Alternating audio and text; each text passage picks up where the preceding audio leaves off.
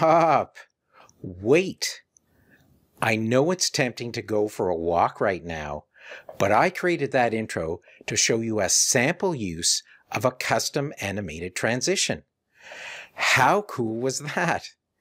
These in-your-face motion graphic transitions are great interrupts, and I often use them as intro dividers, like when I introduce a tip in a listicle style video, or I shift gears and will want to segue into what's next in my video. Today, you're going to see how easy it is to create a cool spinner transition, just like the one I used in the intro. Let's dive in. Hey, it's Gord here and welcome. If it's your first time here and it's your passion to make great videos, become a ninja at video editing and learn more tips on how to succeed with video and marketing on YouTube, then make sure you hit the subscribe button and click the bell notification icon so you don't miss a thing. For starters, I just wanted to note that these types of transitions are sparingly used as compared to the more subtle traditional fades, or jump cuts. Now, for our examples today, all you really need is an image with a pattern that looks cool when it spins. Yep, we're making a custom transition spinner. So let's play a few examples and I'll show you the images that we use to produce these and talk a bit about the behaviors and animations and text. And then we'll jump into uh, one of our examples to see how it's put together. So as you can see in this first one, this custom custom transition spinner, we have a nice polka dot theme and it spins beautifully with the dots and disappears. And we have, uh, you, you, know, just some of the subtleties to notice are how the drop shadows are used and how even white text shows nice on the background. So for that one, all we needed was this image right here. They're kind of cartoonish in style from a, some package I got, but I just wanted to share with you that all I needed was an image and I added all that motion and capabilities to what we have here. In our next example, I'm going to spin right now. Look at the nice colors in that with the lines and the stars.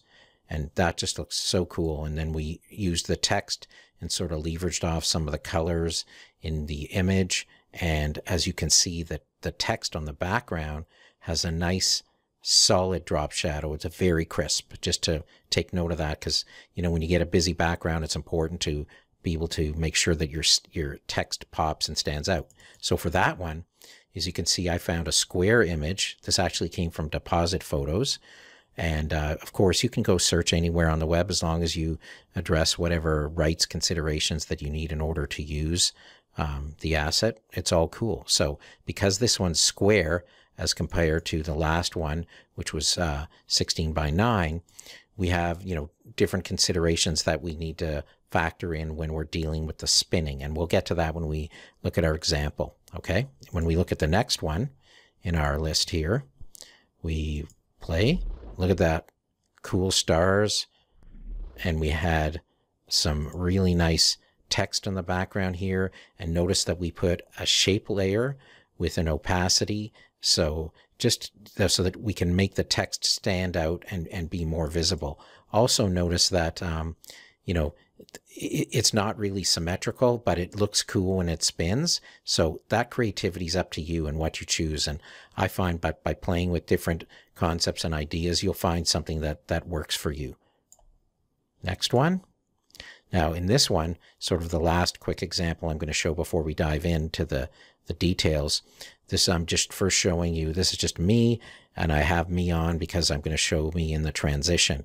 So as this plays, you'll see that an impl that this is an implode behavior, and then it ends with an explode, and it fades out to the corner in the right with a spin and a twist. Now that was really cool. So that was uh, using the implode explode behaviors in addition.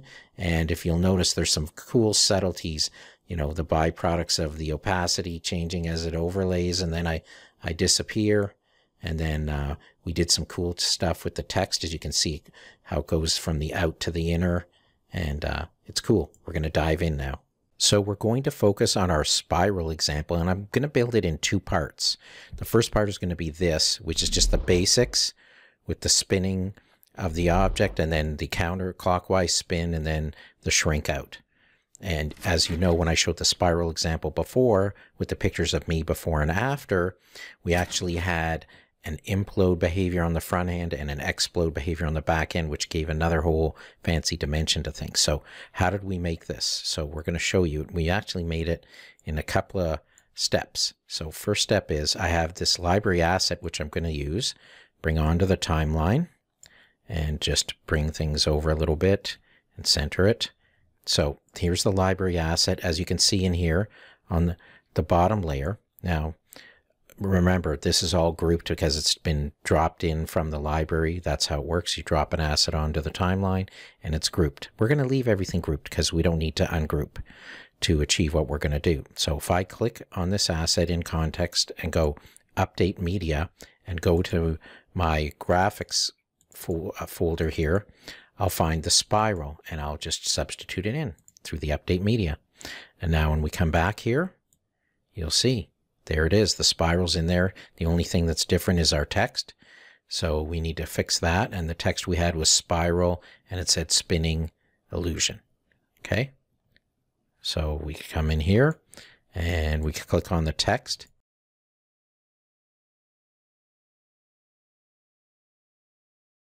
You know, basically we're done. And the reason why there was not much to do to create this is because the image sizes were the same, so everything fits nicely.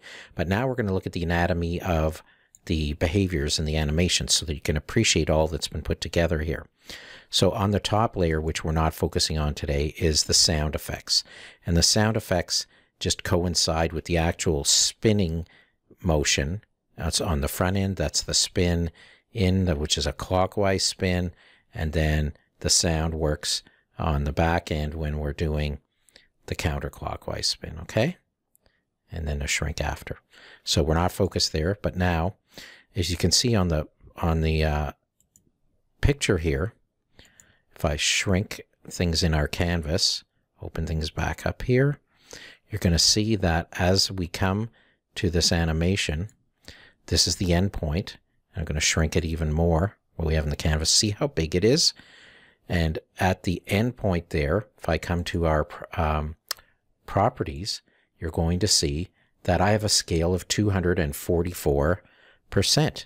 And well, why is that? So I went from a 0% at the beginning, sorry, from 100% to a scaling of 244. And the reason I did that is because I needed to get this, the spiral big enough so the picture so that when I went to do a spin, nothing got cut off. So as you can see here, at the end, we have 225, but at the start, we have 244. So watch what happens as I go. I'm going to go frame by frame by just pressing the period key on Windows. So see the spin going. So look at how on the corners that we just have a little bit of clearance all around as we go. So that's why I scaled it up to get to that level. But when we get to the end here, I tightened back down a little bit to 225 on the scaling.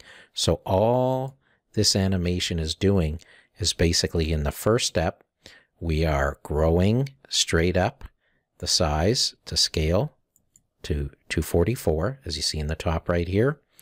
And then we spin, and through the spin, you'll see at the end value, we went for 720 degrees minus 720, which means 2 times 360. So we did two spins.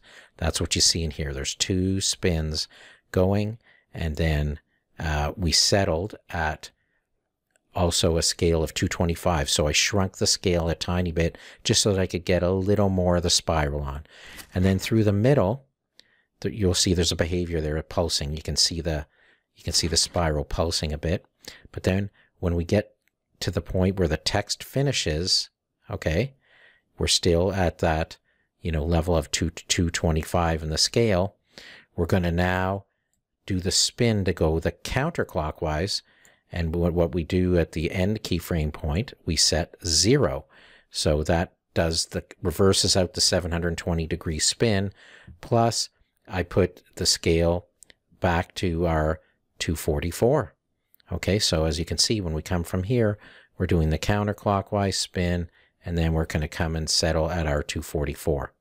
Now, from there, our goal is, as you know, there's no more spin.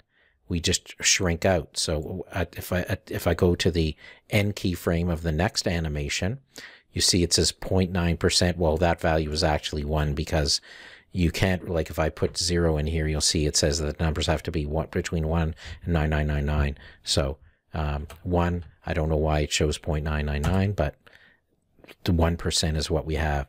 So you can see that at the end, it's totally disappearing, right? So spin and then shrink to disappear. And as it disappears, the black area will be whatever is on the other side of the transition coming in. Okay, so that's it. That sort of gives you a feel for the animations that have been added, okay, and, and how that all works. Now let's look at the behaviors, okay? So I'm going to open up the behavior. You can see we have pulsating. And I showed you when we were in the middle that you can more visibly see that it's pulsating in there, okay? So if we go and we look more closely at the behavior, the end we did, so we added the pulsating behavior. There's nothing there. The during is the pulsate and the out is the shrink. So this was all done with the default behavior of pulsating, no changes. Okay, now let's look at our text, which is above, and our text has a behavior, which we had, which is scale. So on the in, it was grow, and on the during, none, and on the out, shrink. And again, we just did everything as default. So it was pretty straightforward. So as you can see on the shrink, on the in, the text goes left to right, and on the out, it also goes left to right. So see that as we enter in, it's left to right. And as it as it's going to go out, it's also going left to right. Okay. But we have ease out movement. So that adds to the effect of the text going out. And on the in, we have a spring, and that's again, this is all the default behavior. That's how it has that nice bounce in. Okay, so not much done or changed or, or altered in the base. Okay, now let's go and see what we did to adapt this to go to the full blown finished version. So for the full blown version, in this example, I, I, I, decided to add a picture of me on the front and the end so that you could just see how the, how the transition works and because there's some really cool subtleties that happen. So if you watch here when I press play, you'll notice how there was um, transparency. I'm going to go frame by frame here. That happens so fast. So if you look here, the uh, Im implode behavior fly in, spins in, twists, and then comes into place. It's very cool. And likewise on the exit, you're going to see that uh, not only do we spin in the opposite way. Do you see the twisting and flying out and how it nicely had transitioned over to the new picture? So there's a lot going on there. So let's unpack that. We'll go in here. And uh, first I want to mention that uh, I originally in the in the original example had a four second and 22 frame length solution. Now we have six second and eight frames. So how did I do that? So just looking at the structure here, I want you to note a few things. The text was added right at the end here. So after the, the, the um, motion of this, this, the spin completes, okay, that's when our text comes on screen, okay? And likewise, in the end here, you know, the text comes off and then the counterclockwise spin starts there. So the text is uh, strategically placed at a certain distance. So when I stretched the text out, I made sure that it, it started where the spin was was commencing here. Sorry, the text ended where the, the spin commenced. And then to line things up with the sound effect, and, um, all I had to do was move the sound effect to the end where it should be. And I measured back and I got seven frames there. So I know that meant I had to position the extension of the image, whoops, extension of the image to be that seven frames back from the edge. And then once those two were aligned, this one is pretty easy to align because I then just moved the um, the these two animations, right, which you can slide like that, right? So I slid them towards the end, but what what was my guide? My guide there was that again the distance from the end was approximately, so I'm going to go to the end. I used this based on the shorter version. My guide was there, 26. Okay, so that's how far back I had to be. So once uh, for the end of um, the, anim the animation, and once I knew that, okay, it was easy enough to um, work on aligning the rest. So as I mentioned, the text should come in to where the spin is, to where the spin starts, sorry.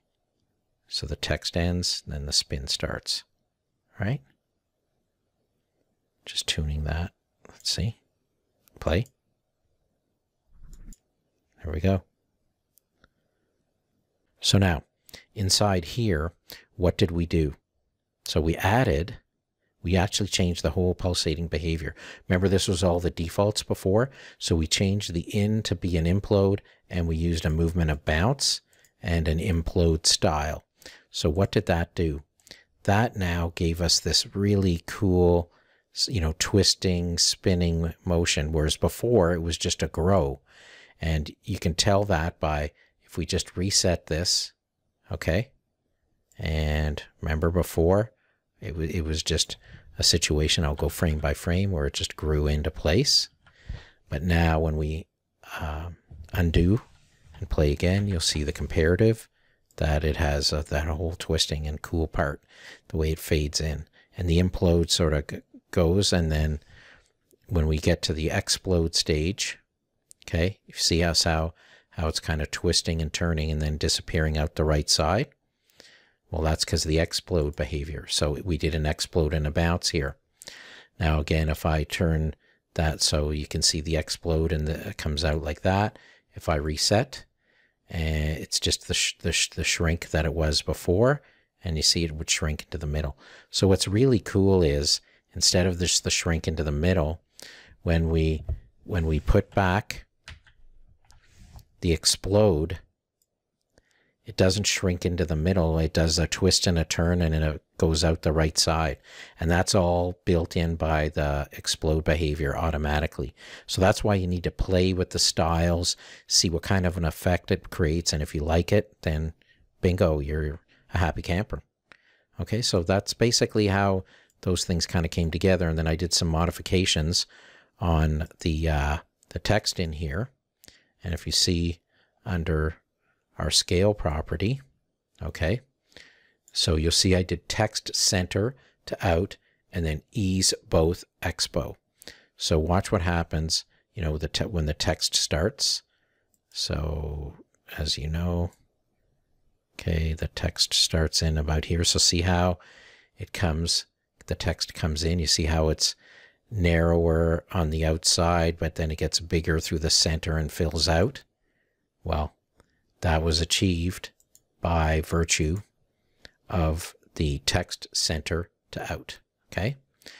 And then on the, the back end, okay, on the out, watch what happens. Okay, well, here we go. So see it's starting there. Look on the out though. It's text out to center. So see how it goes towards the center it's, and fades. Okay, there you have it. That gives you an idea of all the cool things that were done to adapt to create this transition. Wow. As you can see, customizing transitions is a fun and creative task that has rich rewards because you're creating something that is unique to your brand and your video.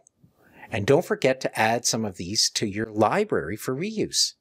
If you need any assistance with your Camtasia projects or editing and producing your videos to get your message out, be sure to reach out to me through Messenger or my website, gordisman.com, and let's have a chat. See you in another video soon.